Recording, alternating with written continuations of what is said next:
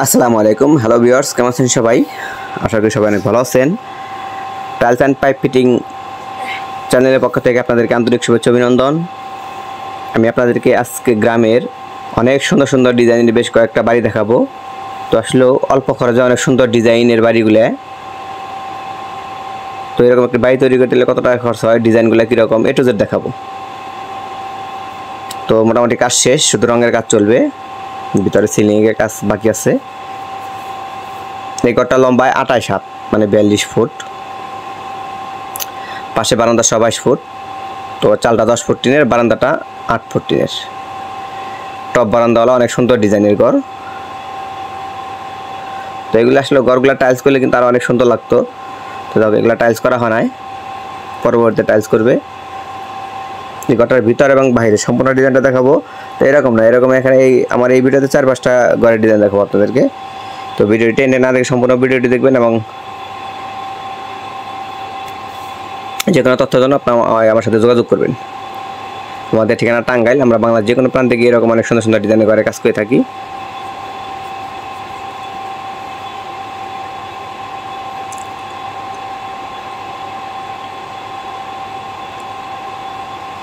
চালগুলো দেখা যাচ্ছে এই চালগুলো কিন্তু টালি টিন। দেখতে টালির মতো।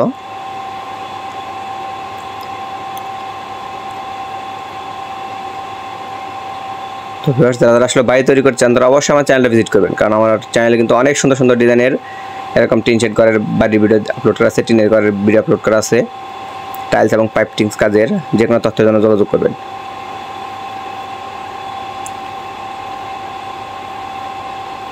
এই ঘরটা আমাদের টাঙ্গাইলের কালীহাতিতে অবস্থিত।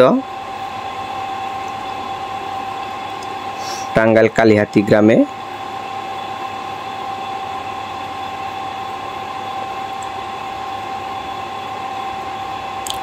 দেখেন, আমাদের চ্যানেলের একটা ভিডিও দেখে এরকম ঘর কিন্তু আমরা অনেকগুলো কাজ করে দিয়েছি। অনেকেই আমাদেরকে দিয়ে এরকম ঘরের কাজ করানো চায় বা আমাদের ডিজাইন দেখে এরকম ঘরের কাজ করায়।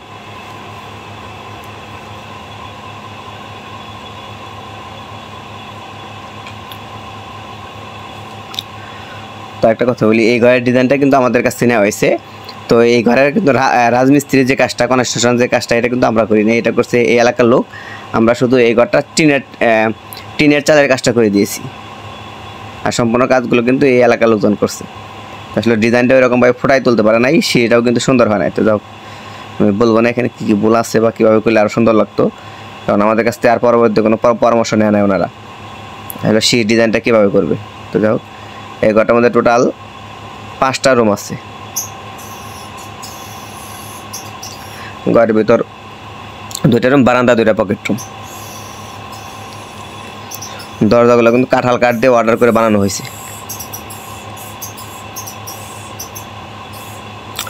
এই যে ডিজাইনগুলো, এগুলো কিন্তু মেশিনে ডিজাইন করে দিছে। এই হলো আমাদের কাজের অবস্থা, এটা কিন্তু টপ বারান্দা। আর এটা শুধু বারান্দা। এগুলো কিন্তু সিলিং হবে। পিভিসি বোর্ড এগুলো সম্পূর্ণ সিলিং করে দেওয়া হবে। কাঠ এবং টিন, দুটো সমন্বয়ে কিন্তু এইভাবে কাজ করা হয় এগুলো। অন্যান্য অঞ্চলে মানুষ অ্যাঙ্গেল দিয়ে কিন্তু ঘর করে। আমরা কিন্তু অ্যাঙ্গেল দিয়ে কোনো ঘর হয় না, আমাদের টাঙ্গাইলে খুবই কম সংখ্যক ঘর হয় অ্যাঙ্গেল দিয়ে। আমরা সম্পূর্ণ কাঠ দিয়ে কাজ করি। আর এই সমস্ত টালি টিনের ঘর কাঠ দিয়ে কাজ করলে কিন্তু বেশ অনেক সুন্দর লাগে। এই হলো একটা রুম এটা একটা ড্রয়িং রুম আর কি, এটা ড্রয়িং রুম হয় ছোটো মোটো আর কি, দুই পাশে দুটা বড় রুম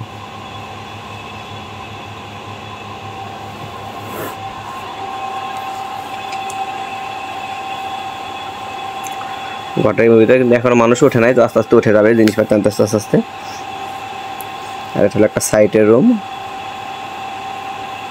এই রুমগুলোর পাশে কিন্তু চোদ্দ ফুট বাই চোদ্দ ফুট। অনেকটা এবার স্কোয়ার রুম আর কি।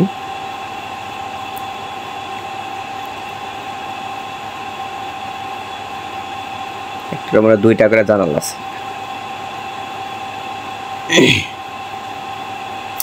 আর এটা হলো আরেকটা রুম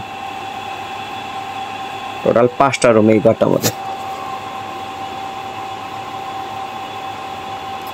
তো ভিউয়ার্স বাড়ি তৈরির যে কোনো তথ্যের জন্য আপনারা আমার সাথে যোগাযোগ করবেন। বাড়ি তৈরি টাইলস এবং পাইপ ফিটিংস এর কাজ। ভালো ভালো মিস্ত্রি তথ্যের জন্য আমার আমার সাথে যোগাযোগ করবেন।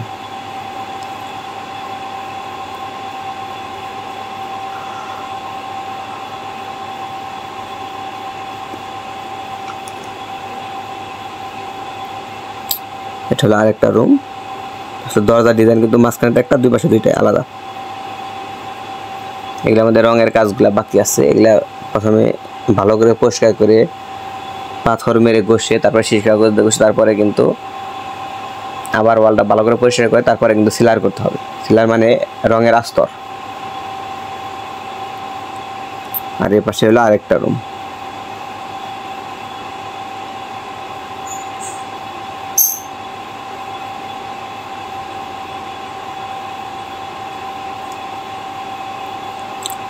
তো যাক, ভিতরে সম্পূর্ণ ডিজাইনটা দেখলেন।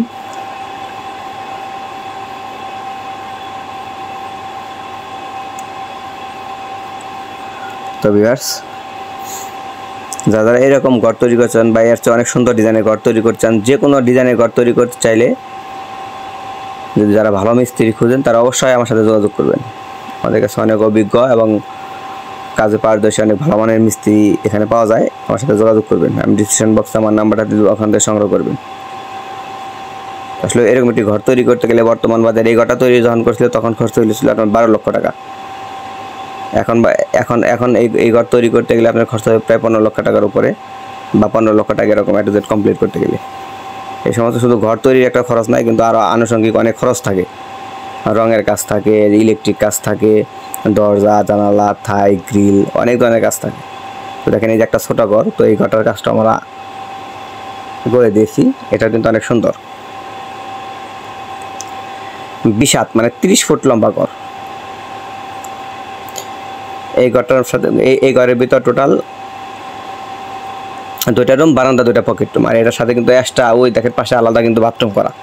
রুমের সাথে অ্যাটাচ একটা আর একটা বাইরে থেকে বাথরুম ব্যবহার করবে। আর এগুলো হলো টিনের ঘর, দেখেন হাফ ওয়াল টিনের ঘর। এগুলোর মধ্যে কিন্তু আমরা সম্পূর্ণ টাইলসের কাজ করি। নাকগুলো ঘরের ডিজাইনগুলো দরজা, জানালা। কালা টিনের ঘর। তো এরকম ঘর তৈরি করতে গেলে ছয় লক্ষ টাকার মতো খরচ হবে আপনার। এই দেখেন, এখানে আরেকটা টালি টিনের ঘর, চব্বিশ হাত মানে ছত্রিশ ফুট লম্বা। এটা হলো গ্রিন।